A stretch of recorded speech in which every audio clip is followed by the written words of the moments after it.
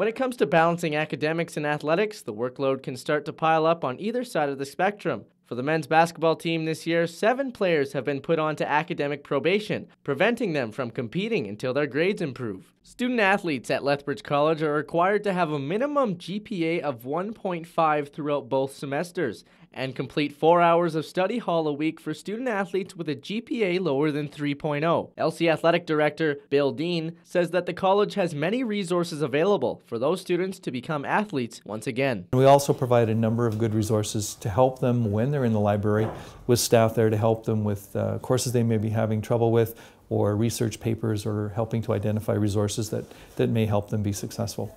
The Kodiaks have lost seven players due to academic probation and have called up two players since the removal, leaving the Kodiaks with a roster of only 11 players. Kodiaks forward Ray Alhoul says that despite the changes, their focus to make it to nationals hasn't changed. The kind of basketball we're playing is we just have to battle to the death. Every time we step on the court, there's really no option of losing, right? When we that's just our mentality when we go into the into our games.